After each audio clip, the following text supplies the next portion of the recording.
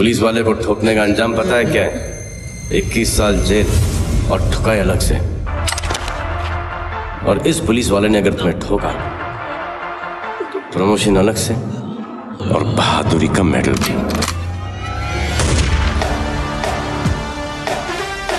कौन है? कौन है तू? जहाँ पहुँच गया वहीं रह वरना। कुत्ते की मौत मारा जाएगा। कौन है महिमा मकवाना? क्या रिश्ता है बालिका बलू और अंतिम फ़िल्म का? किस किसमें नज़र आई है महिमा? खूंखार अंदाज फिट बॉडी क्लासिकल सॉन्ग्स ये सभी मिलकर बनती है फ़िल्म अंतिम। सलमान खान और आयुष शर्मा की film Antim the final shoot का ट्रेलर अगर आपने देख लिया है तो इसमें आयुष शर्मा के ऑपोजिट एक्ट्रेस का चेहरा ज़रूर जाना पहचाना लगा होगा।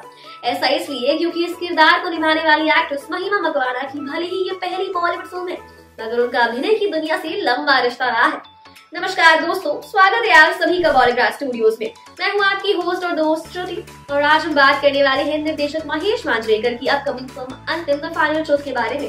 कभी न कभी महिमा को आपने किसी विज्ञापन और टीवी धारावाहिक में ज़रूर देखा होगा, जिनमें बेहद लोकप्रिय रहा कलर्स टीवी का शो बालिका बधु भी शामिल है। 2009 में इस सीरियल में मकवाना ने गौरी सिंह किरदार का बचपन वाला पार्ट निभाया था, जिसे बाद में अंजुम फारूकी और देगोलीना चैटर्जी ने निभाया था।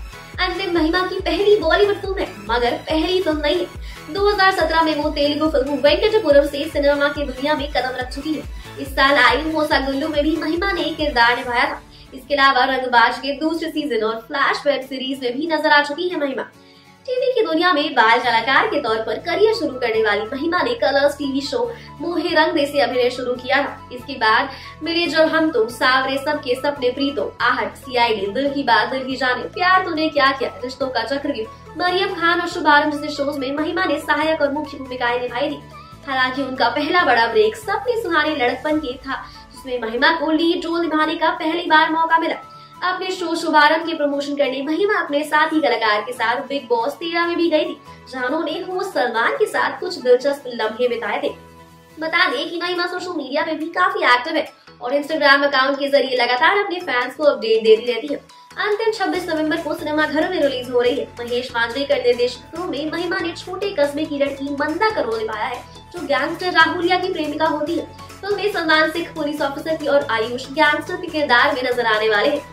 तो आपको महिमा का ये बॉलीवुड डेब्यू प्रोजेक्ट देखने की कितनी एक्साइटमेंट हमें कमेंट्स में ज़रूर बताइए। हम फिर मिलेंगे एक नए वीडियो के साथ। तब तक आप खुश रहिए सेफ़ रहिए। और अगर आपको ये वीडियो पसंद आई हो तो कीजिए इस वीडियो को लाइक और शेयर अपने दोस्तों के साथ। और हमारे चैनल को सब्सक्राइब करना बिल्कुल मत भूलना, क्योंकि आपको इसी चैनल पर मिलेंगे आपके मन पसंदीदा सितारों से जुड़ी हुई हर मन पसंद खबर।